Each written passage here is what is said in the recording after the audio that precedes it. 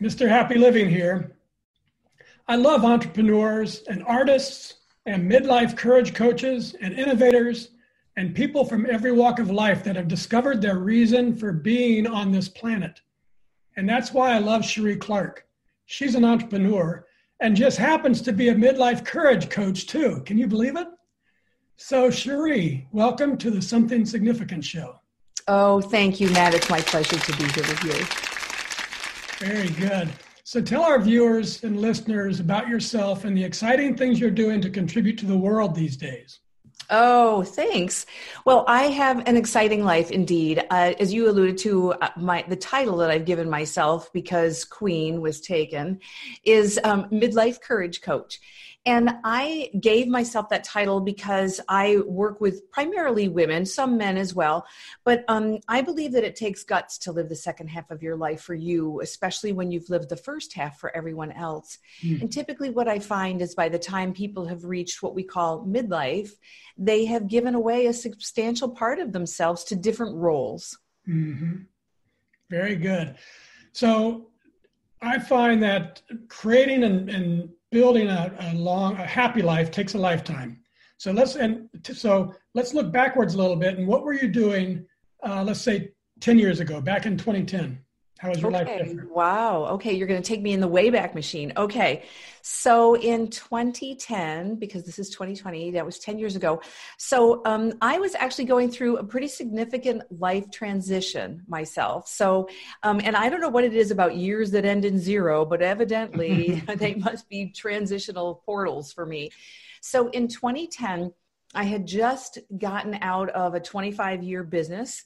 Um, I had owned an advertising agency and I had owned it with a business partner. And I had announced at the end of 2009 that I wanted to do something else. And so I took, uh, I left there in October, took a couple months off. And then in the beginning of 2010, I started, I actually became a coach. But I wasn't a midlife courage coach. I was a health and nutrition coach, hmm. and uh, that that was how I that was the transition that I wanted to make. Um, and then I came to the realization well, I don't want to get too far out of 2010. I'll finish that thought because I'll let you ask the questions. But um, it, at the end of, uh, it, at a certain period in time, I discovered that helping people with nutrition and food wasn't where my passion was mm. um, because there were other issues that created those difficulties that the people were having anyway. So I wanted to deal with the root of the problem. Uh, great. So let's do a, one more step backwards. How about 2000, 20 years ago? What were you doing then? You were in your advertising agency, and, and what else was different in your life? I was, and you picked the zero years, didn't you? So, um, so the so 2000, I had just published my third book. Um, I've, I've, actually been published three times, and all those times were in the advertising business. Um, they were primarily uh, trade publications or trade mm-hmm. books for people in that that realm. And so while that was an exciting time for me, it was also the very first moment or the m- moments when I had that niggling feeling in my head that what I was doing wasn't what I was put here to do. And that hmm. that wasn't exactly, I wasn't on the right path. And I didn't really know how to get on that path. Did you know what the path was? No, I just knew that I was on the wrong one. So that brings me my next question is could you know if we think 20 years ago could you ever have imagined that version of Sheree, of Sheree Clark being on a show like this talking to others and sharing your story and inspiring them to create the life of their dreams heck no because when you're in that place when you are not feeling your your full potential you can't imagine that there's another place. Right. You can't imagine that you can be out the other side, that there is, that we were put here on this planet to be happy. Yeah. And um, that the universe is conspiring for us to have that. And when we are feeling that disconnect or that disjoint, it's a signal to correct. It's not. It's not bad. You're it's, giving me goosebumps. That's exactly right. Yes, you got to pay attention to those signals. You Got to pay attention to them. Right. It's kind of like when your car makes a, a, terrible noise and you think to yourself, oh, this is awful. My car is making a terrible noise. No, it's good that your car is making a terrible noise. The car is tapping you on the shoulder saying, hey, I need to go into the shop. And the, and the right answer just, I not- just turn up, I just turn up the radio. Exactly. Yes. you bingo. okay. So this is a something significant show. And so let me define significance the way I view it, it contains four elements doing things you love, with people you love, in places you love, and that's awesome. But then the fourth element is creating something of value to others. So it's doing and it's giving. But to be a giver, you need excess capacity in your life.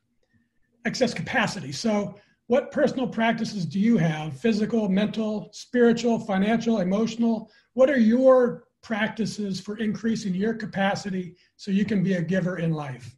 I love that question. So, um, I have a lot of practices that I do, and it's really good for me that we're having this conversation because it reminds me that sometimes the problem that I have is consistency. And I'm guessing I'm hitting a hot button, maybe with someone listening, that we know what we're supposed to do, but staying on that path is not always easy. And what's what happens is you fall off one day and it's really easy for it to that then the next day is easier. And then before you know it you've gotten some bad habits. But let me tell you about my good habits.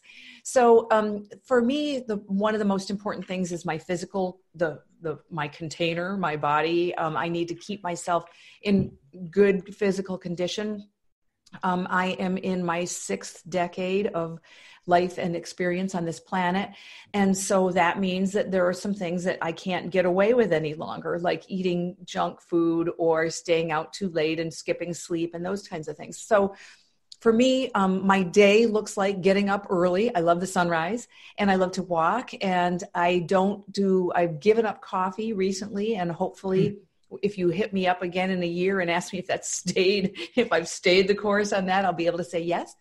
Um, and so the physical things are, are among the most important. Those are the baseline for me. I need to be healthy because I can be alert. And yeah. and then so are there other practices that you want me to share? Give us a couple more. Okay, so I also like to expand my mind. That to me is um, and, and, to me, expanding my mind, oftentimes reading something that is insightful or spiritual. Um, right now, I'm reading a memoir of um, someone who survived the Holocaust, mm. and I find that to be uplifting. I told a friend of mine that, and and she said, "Oh, isn't that depressing?" And I said, no the person came out the other side with a really yeah. positive outlook on life so it's absolutely it's inspiring. And you know it it really kind of frames for us what's the name of the book? It's called courage. Okay. Uh, no uh, it's not called courage. It's called choice. Sorry I, it was i'm a courage coach and so when i see the words that start everything's courage. Yes courage. Uh, so choice is the name of the book. So okay um, and she is really it's a her dr ava i just started it so but I, i'm loving it.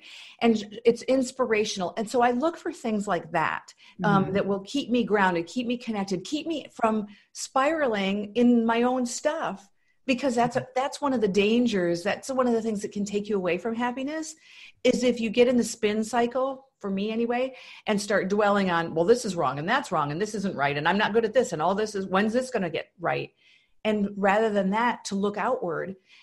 And then so that brings me to the third one. And the third one would be doing things for others.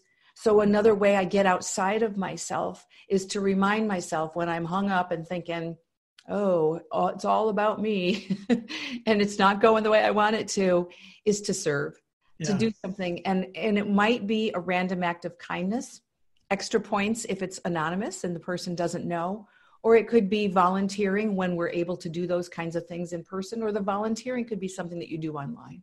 Yeah it's just uplifting. Um, you made me think of two things. One is in terms of capacity building you know oftentimes we're told well you need to jog or you need to eat this way or do this. What i've been learning about maybe going to say give us a few seconds on it i've been learning to there's so many different things that i can do to improve my life. Let me choose the ones that make me feel good and so if I'm doing something good that makes me feel bad, I'm not going to, I can't keep it up. It's not sustainable. Exactly. So maybe share your experience on that. Oh yeah, it's well. One of the things that I uh, counsel my clients to not do is to should all over themselves, mm. um, because we, that's a it's a bad practice. So an example for me is I used to be a runner, and um, I was pretty pretty serious about it. I ran six miles a day every single day, didn't take a day off. Um, the only times I didn't run would be is I live in a four season state. So if there was ice outside, I didn't want to run on ice because that's dangerous or if there was lightning. And usually, if there's lightning, if you wait long enough, it goes away. So you can still run that same day. And it got to the point where it wasn't serving me any longer. Um, mm-hmm. It, my body, when you get to it, for me anyway, I got to a point, an age where it wasn't, it didn't feel as good as it used to. Um, it was taking more from me than it was giving to me. But I had this thing in my head yeah. that I needed to keep running, and I was a runner, and that was how I defined myself. And dang it, and so um, I finally had to come to terms and to grips with that this isn't serving me. And so what I ended up doing was, and, and I've actually written about this, I changed, I turned to walking, which at first felt like a failure. It felt like I, I've given up. I, you know. I'm, I'm throw me in the trash heap. I'm old now but the reality is is that what what i was getting out of it now was different and greater so using a different measuring stick is one of the things that is important now instead of go when i i still walk now when i go out instead of pounding down the miles and listening to really loud um, head banging music I don't listen to anything except nature. Mm. I work with my thoughts. I write things in my head. And when I come back, I sit at the keyboard and they're brilliant. And so my life has changed. I have changed. My practices have to change. That's 100%. I know, I remember when I transferred from running to, to walking, because I had back surgery, it forced it on me. And I couldn't even call it walking, I called it hiking because it was more masculine and it sounded like it was, you know, more acceptable. Um, so we have to we have to change with the times, and and when you do, when you accept it, it actually is a really good uplifting thing. You're not giving something up, you're getting something new. That's so true. And, you know, it happens not just with our practices, but with the way that we view ourselves. You know, mm-hmm. there's a certain point in time when we have to face the fact that we are, like I said, you know, I'm in the middle of a decade. My next decade's, my next birthday starts with, my next big birthday starts with a seven. And that's a different decade. That is an adjustment. That is a reframing of, things, it's not worse. It's actually good. I'm still here. so Absolutely right. Well, good stuff, Sheree. You know how much we love our sponsors, so let's take a, commercial, a quick commercial break and we'll be right back.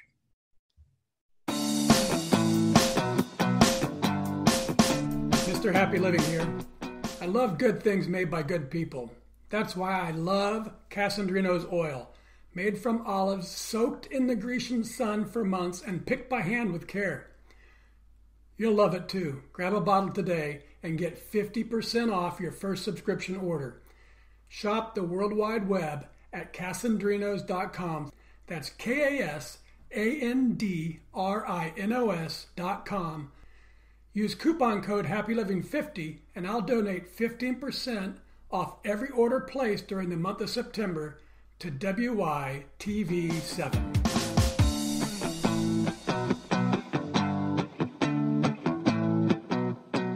For now, let's get back to my special guest, Sheree Clark. And Sheree, as you know, in my second book, Turning Inspiration into Action, I explore the idea that major life transformations and discovery of purpose often come from devastation, terrible illness, a sudden death, something horrible happens to shake your life. But a happier way to create transformation is using inspiration.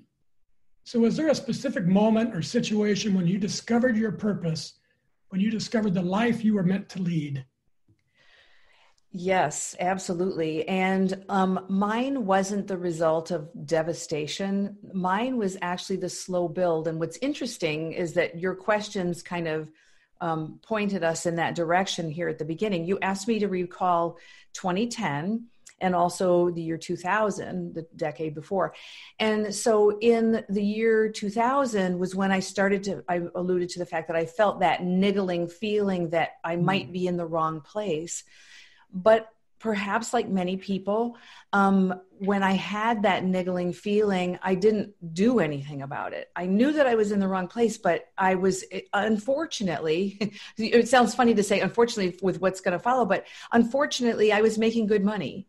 And unfortunately, I was uh, privileged enough to not have to make any changes. And unfortunately, I was healthy. So there wasn't the the push, the impetus, the, all that that the whole big reason. So I found solutions. Um, I volunteered for things to distract me. So it's good, you know, I'm serving other people, but the real, my real motivation was to occupy my time. So I didn't think about how unhappy I was. Hmm. Well, that will work for a certain amount of time. But eventually, at some point or another, the universe doesn't let you just sit there and and stew it it will create some enough discomfort that you have to do something and for me the moment and the realization of that time came one morning when i was sitting in church and i was listening to a sermon and it wasn't because of anything profound that the pastor had said although i'm sure there were some profound things said the, on that sermon. But what happened to me that moment that sunday was that i happened to glance down at my wristwatch to see what time it was. And i realized that in less than 24 hours i had to be back in my the workplace that i had grown to dislike. And i owned the business. Mm-hmm. and it brought tears to my eyes to just think oh my gosh it, I've only got 24 hours of freedom left before I have to go back for another week of this. And I sat back and I thought to myself, if I feel this way, how do the people that work for me feel? What kind of an environment am I setting? What kind of a role model am I being? What am I doing to myself to live like this? And so that was my come to Jesus moment, I guess you could call it, when I made the decision that I had to do something because I was I, I wasn't serving anybody at this point. And within three months, I had gotten out of that business and done what I'm doing now. Right on, way to go. Um, and it's so that's what I've been starting to call the happy formula. It's when you combine capacity, which we talked about earlier, with purpose then the sky's the limit. Right? Yes. But I believe the real magic in life comes from the fourth element of significance. So, talk a little bit about how doing work that creates value for others, how that's brought joy and magic into your life. Oh, it's it's not even measurable. So the coolest thing is, you know, obviously we or I should I say obviously, but maybe it's not obvious. Obviously when someone hires me to be their coach and they're my client i want to make them happy. I mean that's just kind of a no-brainer factor of business. The most joyful parts for me or the moments the kind of unexpected little gifts pennies from heaven kind of thing are when someone says to me they might quote me about something that I've said to someone else and they overheard, or they might have torn out uh, something that I wrote and put it on their bulletin board and they refer to it, or there's something that I have suggested to somebody, maybe casually, maybe in passing, maybe it wasn't even anything I remember, and they recall it and they tell me it's made a difference in their life. And I think that that comes from living your authentic truth because I don't say things to be remembered or to be profound or to get famous or to do anything other than when you're living in your truth and you're engaged with another human being and genuinely care about them. When they come to you for assistance or when you offer something out there, it's in, from such a place of depth that it can't be wrong. And they they feel it. And that's so I've, I've been called, so I've defined that as purpose, but lately I've been thinking about it is that's when you're in spirit. That's when when the the real you is totally present, and that is it's palpable. People can tell, yes. and it's fun. It's awesome, um, but it also it also affects others. I mean, it's wonderful for you if you get there, but it affects others as well. That's what you were talking about. So much. And and matt I, I, have it now because of the flow of our conversation because we have like-minded purposes mm-hmm. and because we see so many things from a similar similar angle. And yet you use different words and i use different and it's like yes yes. And you have that moment where you're like i don't want it to end.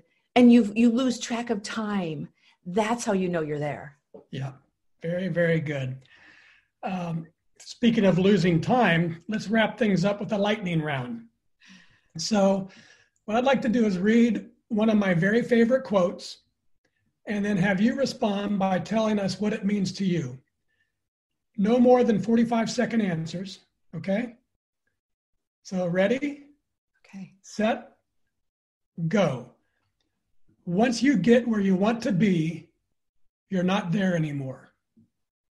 Oh, so that's kind of. That speaks into that the journey is the the joy that getting to some place, being a student, being uh, soaking things up, learning. That's where the delicious part is, and that and that and I, I go if I go over forty five.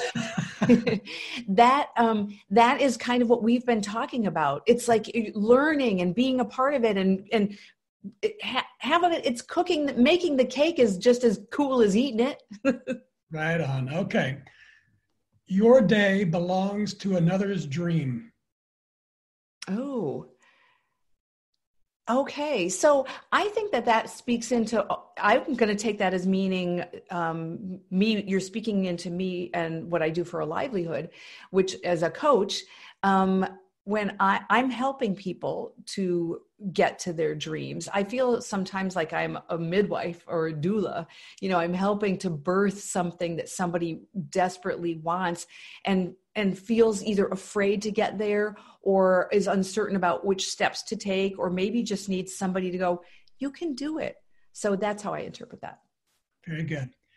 You're perfect just as you are, and you could use a little improvement.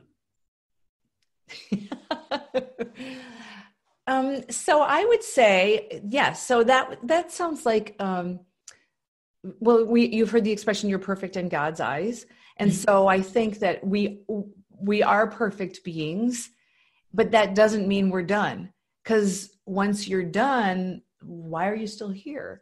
So um, it means that you are you are something to be celebrated. You're a joy. You're a gift and if you wanted to up the ante a little bit, knock yourself out. Get after it. Yep. Okay, let's do two more. A total acceptance of yourself brings about a total transcendence of yourself.